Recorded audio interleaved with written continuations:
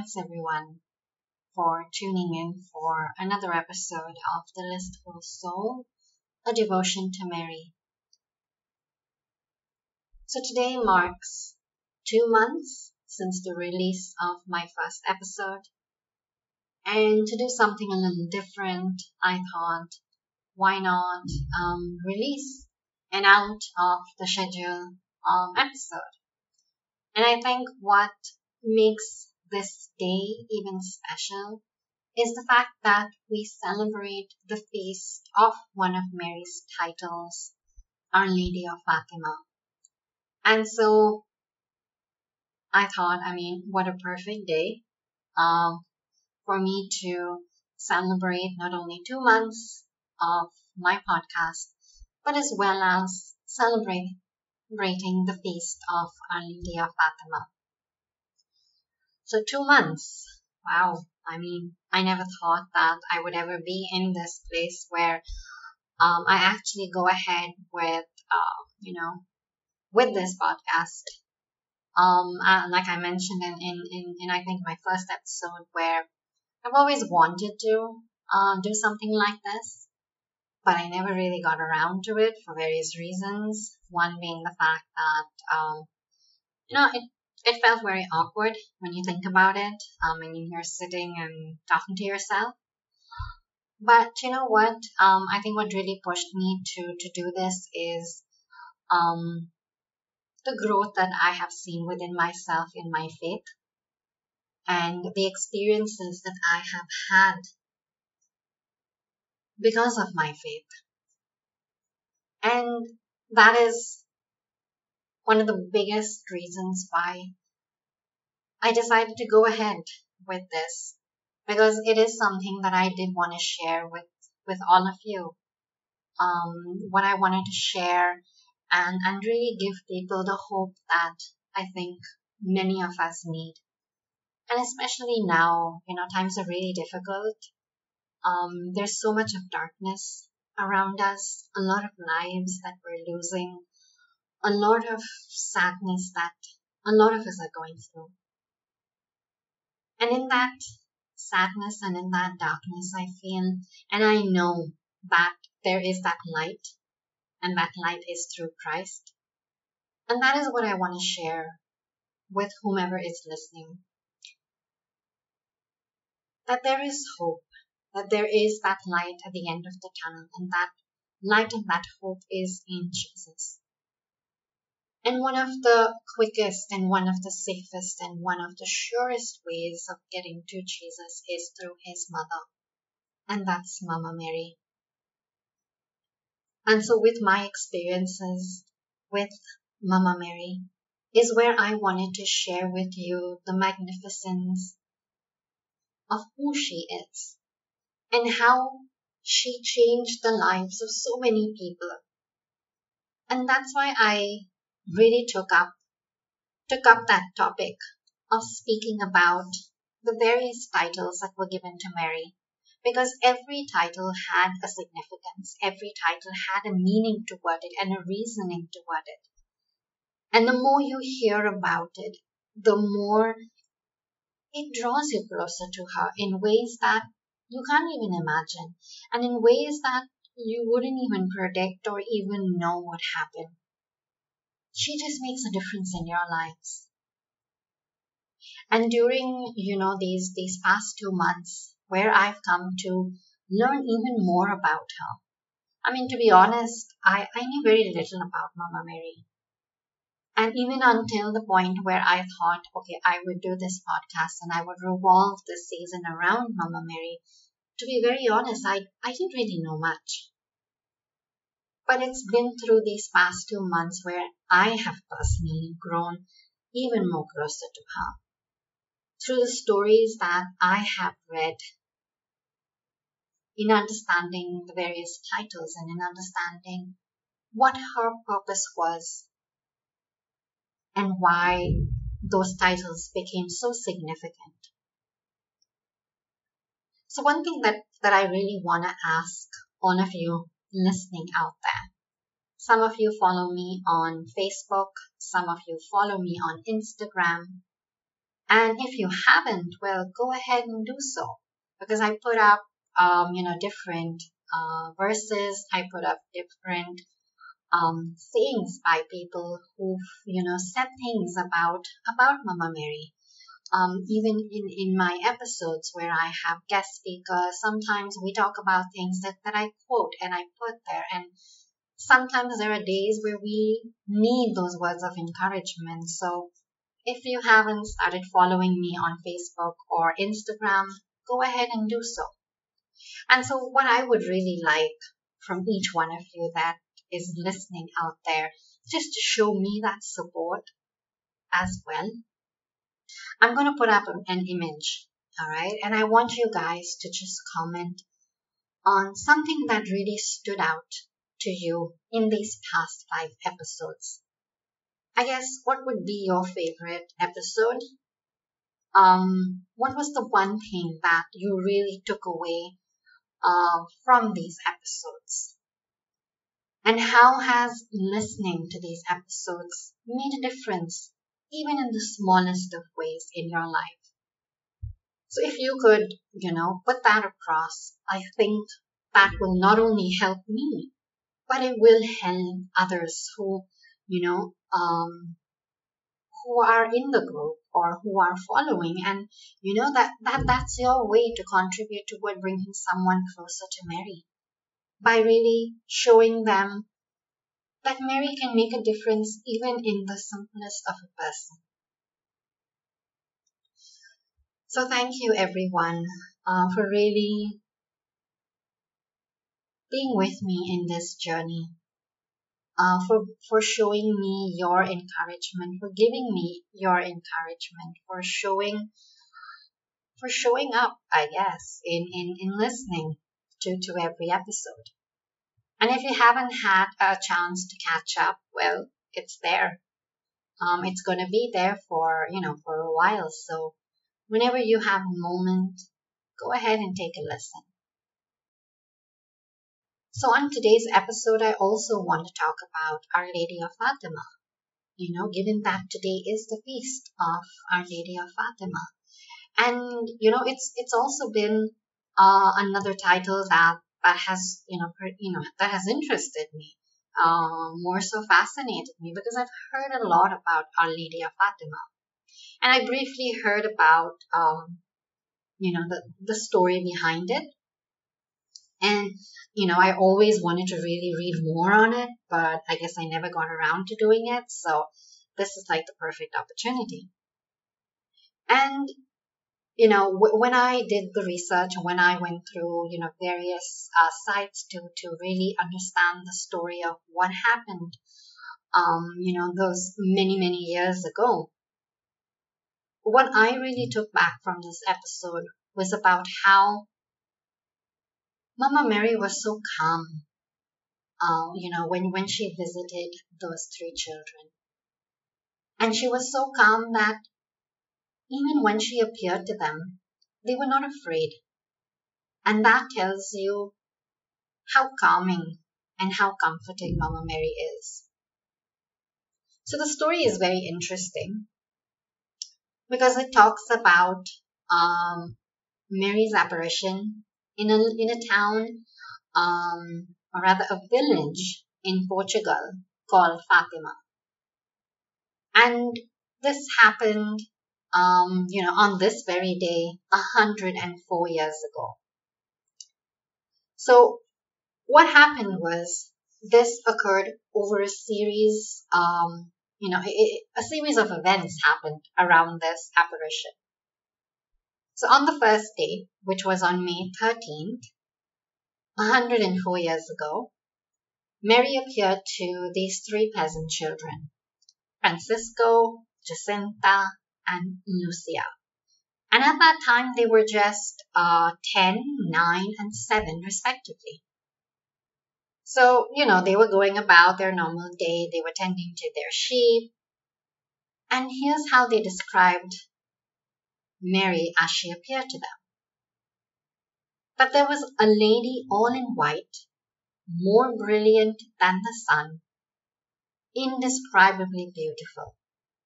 And she was seen standing above a bush. So, you know, as human nature would be, you know, you would, they saw it, they didn't really pay much attention to it.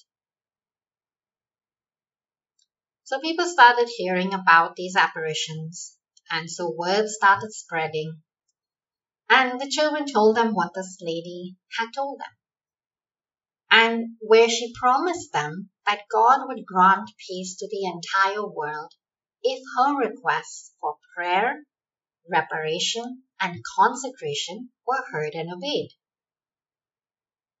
So, again, as normal, you had some people who believed in the children, that they had actually seen the Virgin Mary, and then there were other people who ridiculed them and thought that, you know, they were just children, that they were just making it up.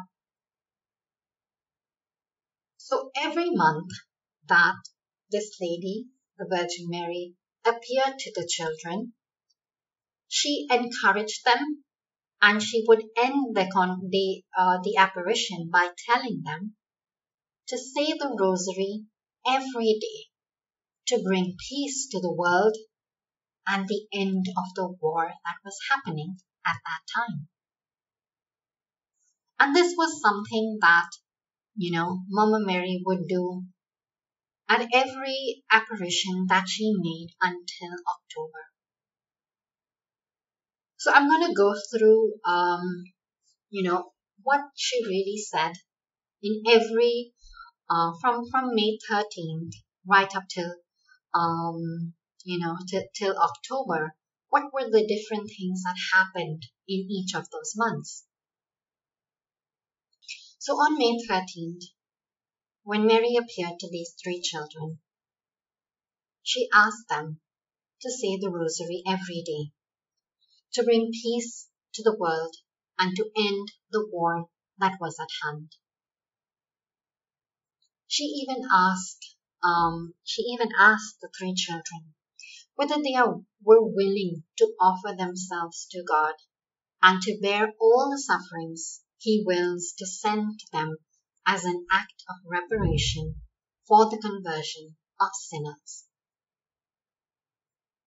And as innocent as they all were, they all agreed readily. And then Mary tells them that you are going to have much to suffer, but the grace of God will be your comfort. Now, if we, I mean, I don't know if this is this is even a comparison to make, but if we look at today's world, if we look at what's happening today, what would be your answer if Mary appeared to you today and said, My child, are you willing to offer yourself to God and to bear all the sufferings that He wills to send you as an act of reparation for the conversion of sinners? And at the end, what really, um, you know, takes me aback but not really surprises me because that's how good God is. Mary affirms that when we say yes, and even though we may have to suffer, she tells us that the grace of God will be your comfort. And at the end of that, at that day, she tells these children to say the rosary every day to bring peace to the world and to the end of that war. Even in today's scenario, how many of us pray the rosary every day? We are in the month of May, which is the month of Mary. But despite that, the rosary should be our weapon against the evil one. It should be our weapon to put an end to what's going on right now. Let's go to the next month. So in June, Mary appears again to these children. And she reminds them to come again the next month and reminds them to pray the rosary every day. She tells Lucia not to lose heart because she will never forsake her, because her immaculate heart will be her refuge and the way that will lead her to God. So here's another promise that Mary makes to this child that Mama Mary will never forsake you. That through her Immaculate Heart we will find that refuge. And through Mama Mary's Immaculate Heart, she will lead us to God.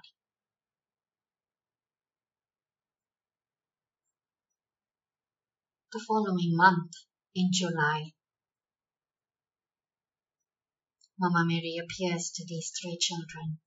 Once again, she reminds them to be present the next month and to continue to pray the rosary every day. And to pray, pray the rosary so that there is peace in the world, so that there would be an end of that war. So at this point of time, Lucia asked Mary for a miracle.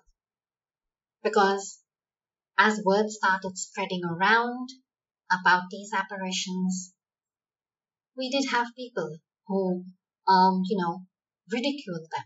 There were people who didn't believe what these children were, were, were telling them. And so Lucia asked Mary for a miracle so that everyone would believe. And so Mama Mary tells her to continue coming every month. And in October, she will reveal who she is and what she wants, and she will perform a miracle for all to see and believe. Now, on this same day, Lucia also makes some request for Mary to to cure some people who were sick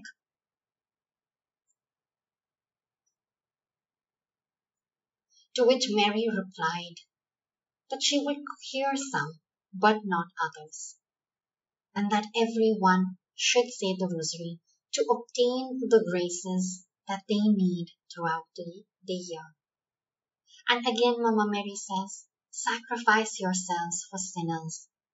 And say many times, especially when you make some sacrifice, Oh Jesus, it is for love of you for the conversion of sinners and in reparation for the sins committed against the Immaculate Heart of Mary. Now here's what happened as Mary said that. When Mary said those words and she opened up her hands, there were rays of light that seemed to penetrate the earth revealing to Lucia a terrifying vision of hell, which was full of demons and lost souls amid indescribable forms. Now, the vision of hell was the first part of a three part secret of Fatima. So, this is something that was known where this vision that Lucia had was known as a secret. And here's what Mama Mary had to say about this vision. And I'm going to quote what was mentioned in Sister Lucia's memoir. You have seen hell, where the souls of poor sinners go. To save them, God wishes to establish in the world devotion to my Immaculate Heart. If what I say to you is done, many souls will be saved and there will be peace. This war is going to end. But if people do not cease offending God, a worse one will break out during the pontificate of Pius eleventh. So this was what Mary had told these three children. And the third part of the secret was not made public until the year 2000 at the beatification ceremonies of Jacinta and Francisco. And this is because Mary specifically told Lucia not to tell anyone about the secret at that stage. So the following month, in August, Mary once again appeared to these three children. She encouraged them to say the rosary every day. She encouraged them to pray and pray and pray very much, to make sacrifices for sinners, for many souls go to hell, because there are none to sacrifice themselves and to pray for them. In the following month, in September, by this time, word spread to far lands and large crowds, you know, began to um, converge on Fatima from every um, from every corner of the country. And Mary appeared and continued to encourage them to pray the rosary in order to obtain peace and the end of the war of the war. And once again Lucia asked Mary to put forward petitions for cures for those who are sick. October 13th, 1917. So this was the day when the miracle publicly happened, where we had many pilgrims, you know, who walked barefoot. There were some who were reciting the rosary as they went along, and a lot of people crowded the area where these apparitions happened. Now, what happened on that day was by mid morning, the weather turned really bad, and there was a heavy rain that began to fall. So the children, um, you know, they arrived um, and at that moment, Mary appeared again. And Lucia asked Mary what she wanted. And Mary told them that she wanted a chapel to be built in that place in honor of her. And she told them that she was the Lady of the Rosary. And once again, she encouraged them to always pray the Rosary every single day. Now here's another interesting aspect. Once again, Lucia made requests for cures, for conversions, and for other things. And Our Lady responds, and I quote from Lucia's memoir Some yes, but not others. They must amend their lives and ask forgiveness for their sins. And Sister Lucia relates this incident where she says, when Mary says this, she becomes very sad. And she says, do not offend the Lord our God anymore, because he is already so much offended. So this brings me also back to, to today. How many of us have asked for forgiveness from God? For the things that we may have done, whether it be in our past, whether it may have been, you know, very recently. How many of us are holding anger and guilt within ourselves? How many of us are holding unforgiveness within our lives? Have we asked God to forgive us for all of that? Have we forgiven those who've hurt us? Let's amend our lives, especially now with all this darkness that's going around. We need to be the light to others. We need to be their light so that they know that there is hope. So it was on this day when Mary performed that miracle for everyone to believe. And this miracle is known as the miracle of the sun. So what happened was, um, as I mentioned, there was heavy rain that you know, that came down into that place. And apparently for three days there was a downpour. But despite that heavy rain, there were about 70,000 people, I believe, who journeyed through that rain and that mud to this place where Mary appeared to these three children. And what happened then was, as these people walked drenched in the downpour, they say suddenly the clouds separated and the sun appeared between them in that clear blue sky.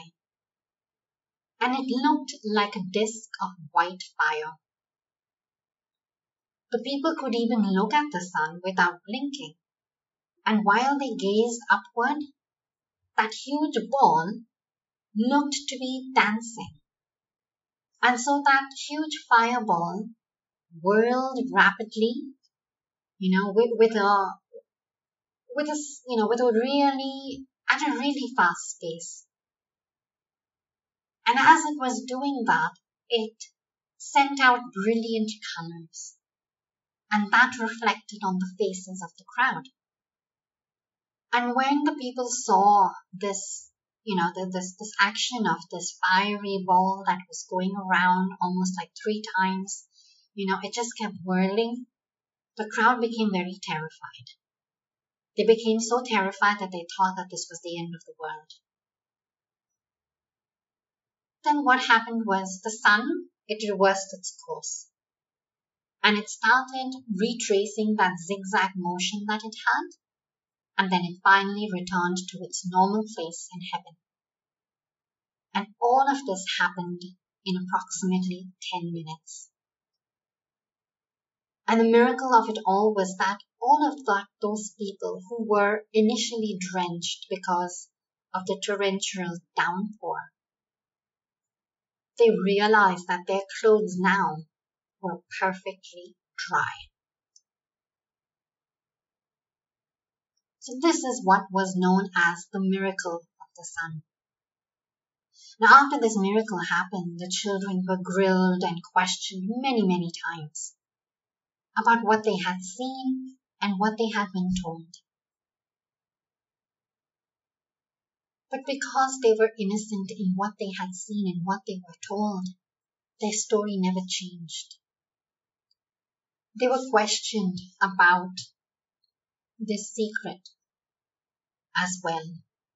And you know the the um the people wanted to know what it was the authorities wanted to know what it was. And like i said that secret was you know in three parts where the first part was about the vision of hell where the souls of the poor sinners would go. And it contained an urgent plea from our lady for acts of prayer and sacrifice to save souls with that emphasis on praying the rosary daily and having a devotion to her Immaculate Heart. The second part of the secret prophesied the outbreak of World War II, and it contained the prediction of the immense damage that Russia would do to humanity by abandoning the Christian faith.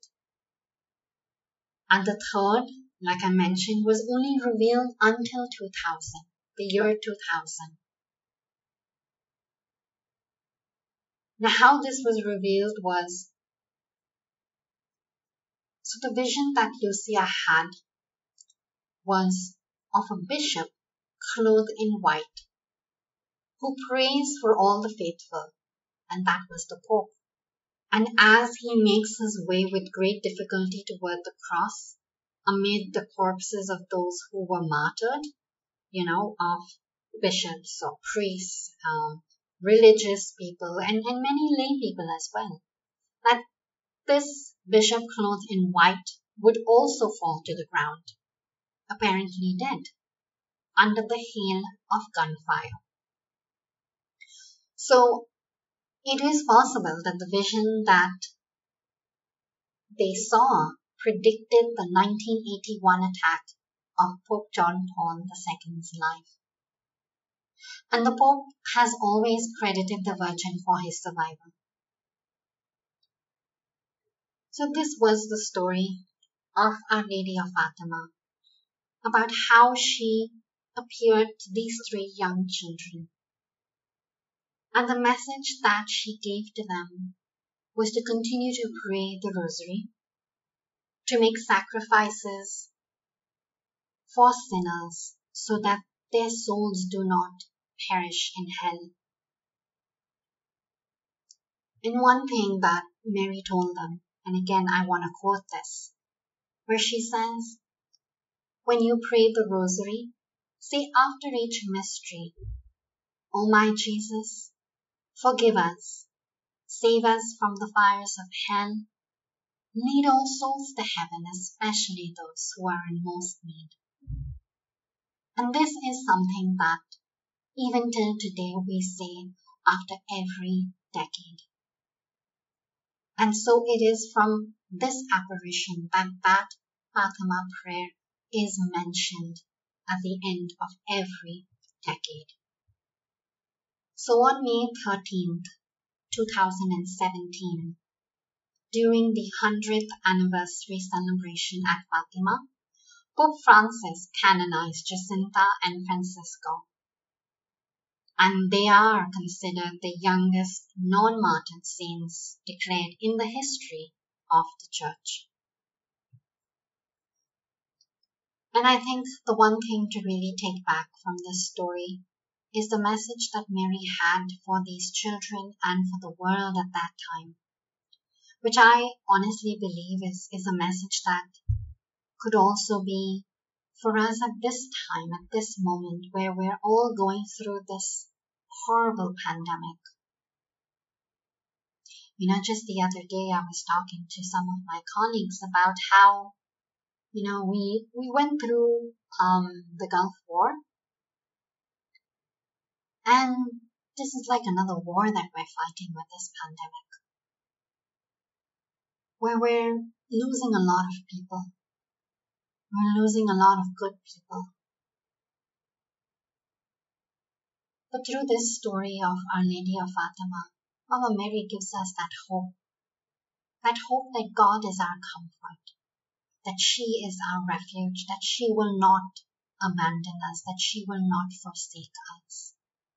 But all we need to do is just pray the rosary every day. Consecrate our lives to her immaculate heart.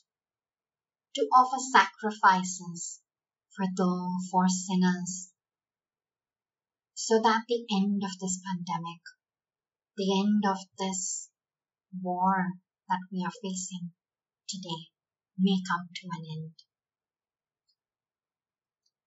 And so I leave you with this quote by Saint Louis Marie de Montfort.